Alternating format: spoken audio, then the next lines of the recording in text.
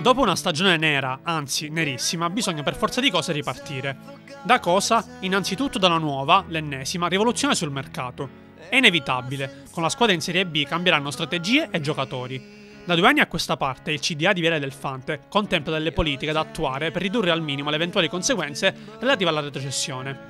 Le risorse, si legge nei verbali, come riportato dalla Repubblica nell'inchiesta del 13 febbraio, si potranno recuperare dalla commercializzazione dei diritti alle prestazioni sportive di alcuni dei giovani talenti di cui è ricca la rosa della prima squadra, che, tradotto al burocratese e al papale papale, significa vendere i giocatori migliori presenti in organico.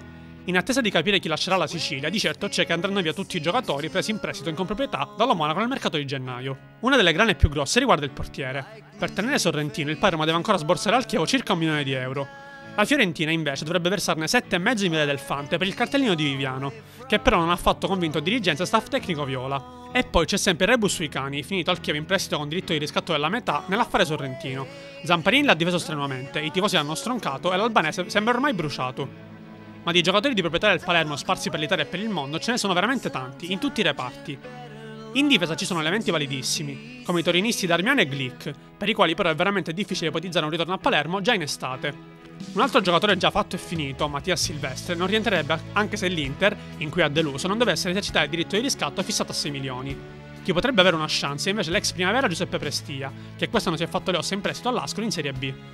A centrocampo sono tanti i rebus, da Bacinovic a Della Rocca, passando per Vasquez e per gli oggetti misteriosi Lores, Simon e Struna. In attacco, con il punto interrogativo legato a Hernandez, che comunque rimarrebbe anche in B per rilanciarsi, il rientro al weekend di Boselli e i dubbi sul futuro di Miccoli rimarrebbero i soli di Bala e Sperduti. In prestito ci sono Budan, Memeti e gli ex primavera Jara Martinez e Sosa. I primi due potrebbero certamente tornare utili alla causa, per gli altri una cessione non susciterebbe certo scalpore. È nuovamente tempo di riprogrammare in casa Palermo.